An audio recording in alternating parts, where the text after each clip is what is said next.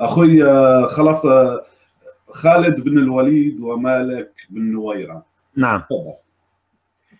آه مالك بن نويرة هو صحابي وهو من نسل معد بن عدنان يعني ينتهي نسبه إلى معد بن عدنان عدناني يعني ينتهي نسبه مثل نسب النبي محمد وقريش. آه اللي أصلا اللي صار إنه يعني بنحاول نختصر يعني ونعطي الزبدة. آه قرأت أنا في السير في السير في التاريخ الإسلامي أو سير أعلام النبلاء وهو يعني نفس لنفس الكتاب. آه ولكن بصياغه بصياغة أخرى كان صاغها آه الإمام الذهبي التاريخ الإسلامي من كتاب السير. قصة مالك بن نويره وقوم مالك بن نويره قال إحنا يا جماعة إحنا ما إحنا مش إحنا مش كفرة ومسنا مرتدين.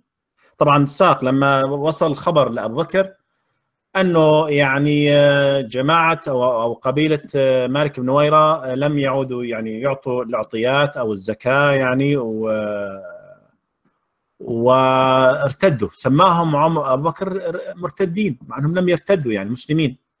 ومالك بن نويره صحابي.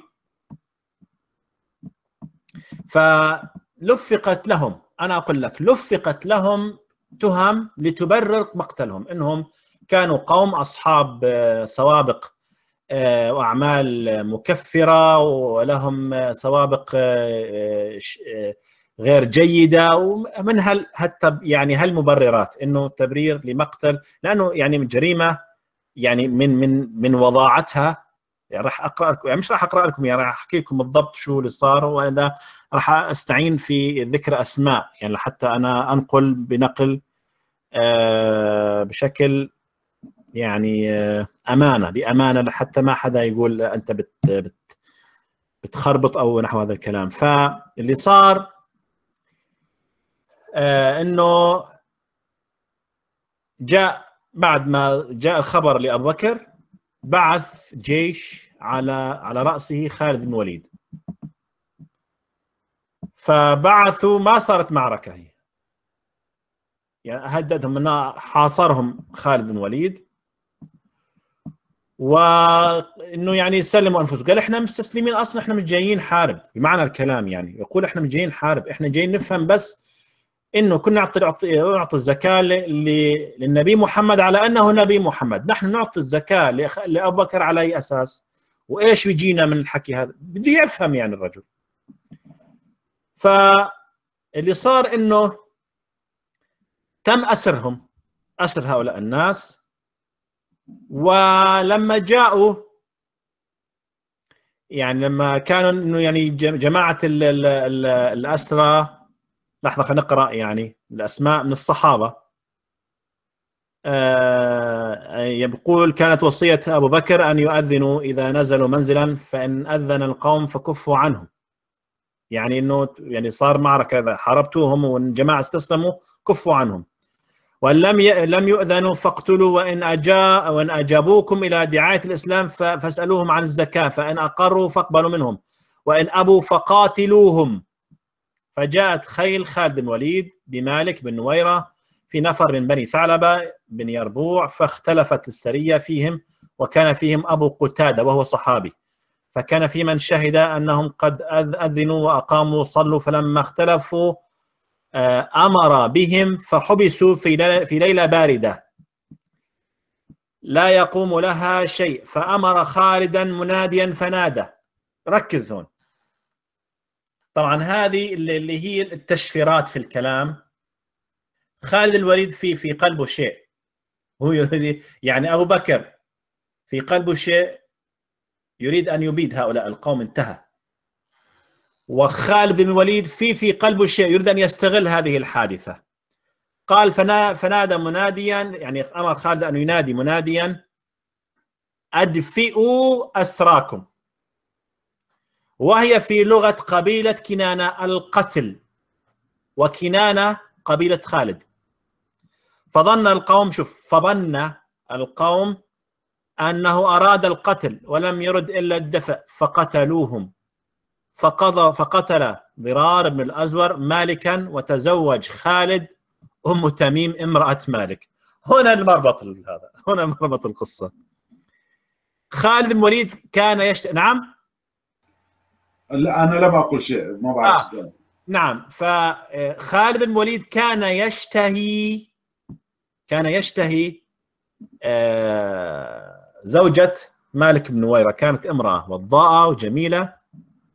وفي روايات أنه رآها مرة فنظر آه، فنظر مالك بن نويرة إلى زوجه قال أنت لقد قتلتني.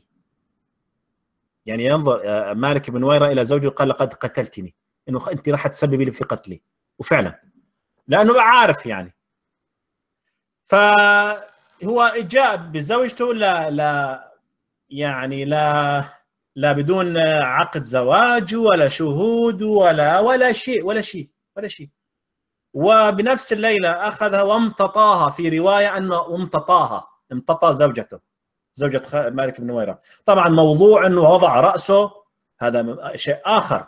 وضع رأس مالك بن نويره وفي شيخ مهثر مجنون يعني بيحكي مكيف سيدنا خالد وسيدنا خالد وسيدنا خالد عم فعل كذا وسيدنا خالد فعل كذا شيخ موجود فيديو شهير جدا بيتكلم وبينص على الناس وبيتكلم عن الموضوع وكأنه شيء قصة يعني ألف ليلة وليلة ومبسوطين وبيضحكوا يعني عرفت كيف؟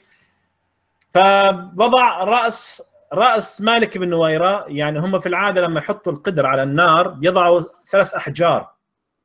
يضعوا ثلاث أحجار فوضع خالد بن وليد حجرين وكان رأس مالك بن نويرة هو الثالث فوضع القدر على على حجرين وعلى رأس مالك بن نويرة وأوقد النار في في في رأس مالك بن نويرة. ووضع لحم داخل القدر يستوي على هذه النار آه بس عندي سؤال هون نعم. أخوي خلف يعني نعم. المشكلة في في فهم خاطئ ما ما بعرف فهم فهم خاطئ أو صحيح إنه نعم. خالد بن الوليد هو طبخ رأس مالك بن نويرة وأكل منه يعني وفي هو أنا سمعت نفس زيك هيك إنه في ناس بتقول إنه ما بعرف أنا لم أقرأ صراحة لكن اللي بعرفه أنا إنه وضع رأسه لم يضع رأسه في القدر وضع رأسه ك كحجر تحت القدر يعني هو وضع الرأس كثالث حجر. ماذا ماذا يطلق عليه اسم شو الأسماء بيطلق عليها لأنما وضع رأسه وكان كثيف الشعر كث الشعر وكثيف الشعر. واشتعل لدرجة إنه اشتعلت النار في الشعر فترة يعني مدة زمنية حتى يعني لم يعد هناك شعر ليحترق. وبدأ الماء يغلي على اللحم داخل القدر. نحروا جزور ربما وبدأوا بأكل اللحم ورأس مالك بن ويره يحترق مع النار. ثم زوى يقول لك فزوى بأم تميم امرأة مالك. آه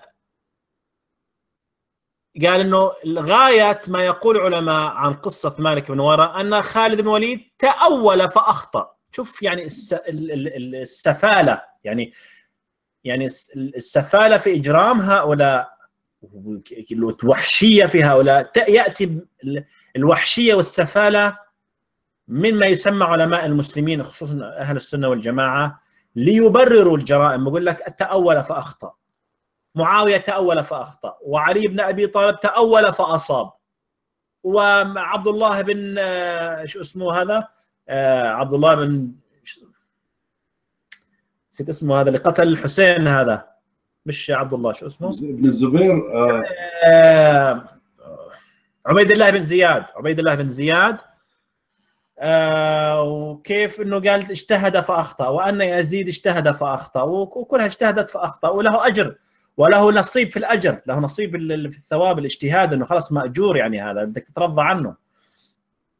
فاللي صار إنه طبعا عمر الخطاب وصارت مناظرة يعني بينه بين بين بين يعني نوع من النقاش الحاد بين أبو بكر وعمر الخطاب وكان على فكرة يبغض بعضهم. حتى في أيام محمد كانوا يبغضوا بعض. آه وكان جديدة بصراحة بأنه عمر بن الخطاب وأبو بكر يبغضوا نعم. بعضهم نعم نعم. إنه آه، حتى اختلف أبو بكر مع عمر في مسألة وارتفع أصواتهم عند محمد وفي آيات قرآنية إنه محمد قال دوشتوني أنتم بتهاوشوا بعيد عني يعني. ولا تقدم يا أيها الذين آمنوا لا تقدموا بين يدي رسول الله. في آية في سورة الممتحنة كأنها أظن في سورة الممتحنة إنه لا تقدموا بين يدي رسول الله. ويا أيها الذين آمنوا لا ترفعوا أصواتكم فوق صوت النبي ان أن تحبط أعمالكم. الايه الآية قبلها. اللي هي في ابو بكر وعمر. واقرأ بمناسبة ما يسمى نزولها وإنه كانوا مختلفين بين بعضهم. وكانوا يعني يعني نوع من التنافس بينهم. فلما آلت الأمور لابو بكر أراد ابو بكر إنه يجعل يعني لابو بكر سابقه إنه هينا يا شيخ خليتك خليفة. هينا بيعتك خليفة بس تخليني خليفة من بعدك. فكانت الوصية من أبو بكر لعمر مباشرة وصل عمر. إنه الخلافة لعمر بن الخطاب. فلما جاء خالد الوليد وأثار الدماء عليه و يعني اللي هو العلق علق الدم على على درعه والسهام والنشاب حاط السهام والنشاب على عمامته من باب التفاخر إنه قتل يعني وجزر في الناس. فيأتي عمر الخطاب ويقول لقد زنى. يجب أن تقيم عليه الحد. لقد قتل رجلا مسلما وزوى بامرأته. فبقول أبو بكر ما كنت لأقتل. طبعا هنا الخلاف تجلى الخلاف. أبو بكر مع عمر. كيف؟ إنه لا ما كنت لأقتل رجل آه، سيفا سله الله على رؤوس الكافرين المرتدين. لاحظ الإجراء الإجرام الفكري والإجرام اللفظي والإجرام الفعلي والإجرام العقائدي وكل كل إجرام بكل مقاييس. هنا تتجلى مظهر آخر من مظاهر الإجرام عند الصحابة بذره الإجرام الصحابة انقلبوا على بعض أخوي جان. يعني اللي ينكر هذا الكلام مكابر أنت بكانك تخرج إلى إلى إلى إلى إلى, إلى الشارع في ساعة الظهيرة والشمس في كبد السماء ساعة الزوال وأنت تنظر للشمس وتقول لا لا لا يوجد ثم شمس فوقي. تنكر الشمس وهي في عز النهار. اقرأوا سير الصحابة كيف كيف لماذا الصحابة قتلوا بعض؟ قتلوا بعض لأنهم أصلا هم قلوبهم مغشوشة. لأن لأن الدين بنى على غش بني على دماء بني على على على إجرام. بده يكون أتباعهم ناس ناس عندهم بذرة الإجرام بحيث لما ينفذوا التعاليم الإجرامية لا يترددوا ولا يترددوا إلا مرة ترددوا في موضوع سبايا قطاس إنهم يعني قال إنه إحنا إنه كيف إحنا بدنا نواقع نواقع سبايا قطاس نساء. لهن أزواج لا زالوا على قيد الحياة ولهن أبناء. كيف بدنا نجامعهن يعني كيف نمارس الجنس معهم هن لا زالن على على على ذمم يعني على على علاقة أو على علاقة زوجية مع رجال آخرين. ومعروف أنسابهم ومعروف أحسابهم وأنسابهم. فاجى محمد مباشرة مباشرة ألف لك هالآية آه، والمحصنات من النساء إلا ما ملكت أيمانكم. قال فبها استحللنا فروجهن. ما ما كذبوا خبر راح مباشرة واقعون. هي تكميل مكارم الأخلاق طبعا. يا سلام! إيش شوف شوف شوف النور كيف بيشع من وجهي. شوف شوف كيف الأنوار كيف اللي هي الهالة الهالة النورانية حول ما أتكلم بهالسيرة هذه. ناس ناس مضروبة عروسها يا رجل.